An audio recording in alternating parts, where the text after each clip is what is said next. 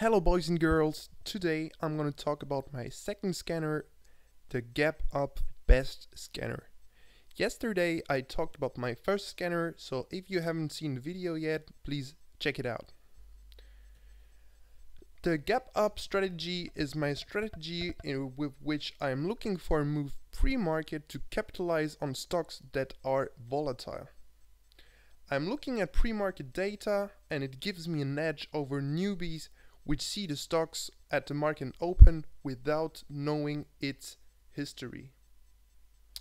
They only look at the data at its open, don't know where maybe support is or resistance, and just don't know how the stock behaves. I'm also, as I said yesterday in my first scanner, using the criteria that I'm looking for stocks that are over $1. Uh, stocks under $1 tend to get too much volume for me and I can't really read the level 2 anymore. Moves, also, uh, moves under $1 are also, in my opinion, more choppy and if I don't like a stock or how it behaves, I just don't care. I don't trade it. I'm looking for a minimum volume share of 100,000 shares traded pre-market. Basically, with the $1 minimum, I'm looking for stocks that are over that have over a $100,000 traded on a day, which enables me to get in and out of stocks quickly.